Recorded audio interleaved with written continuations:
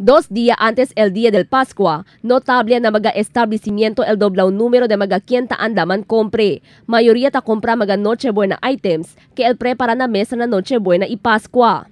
Si J. Mike Perez solamente macaroni el que ta compra na un nuevo establecimiento na tugbungan. Este lang según el cosa puede cabe na su budget y siendo tres lang sila na casa, quien man junto-junto na Nochebuena. OFW según di su nana, mientras ya tarde muerto el su tata. Parang ano Buena para chinikosa ko si tamin maskin salad lang. Tapos ka pa para dos klase lang era kay manirmano lang tamin kami na kasa, tres lang tamin kami. Naida mo na na pati tata. Pansit ibihon el cosa ya compra este si señora Tesi. Semejantes na otro, este lang también según él prepara na noche buena siendo no sila sen este Pascua. Takre según él que hindi na de aquel de importante el comida durante el Pascua, sino más importante, amo para man junto junto el di la familia con unión y alegría.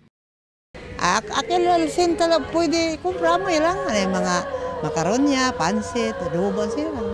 Base na price monitoring del Department of Trade and Industry, no hay cambio na suggested retail price del mga Noche Buena items. Talisigod ta kore el presyo del ham na 135 para 745, depende na gramo. Fruit cocktail, 45 hasta 284. Queso de bola, 149 para 445. Pasta spaghetti, 29 para 87.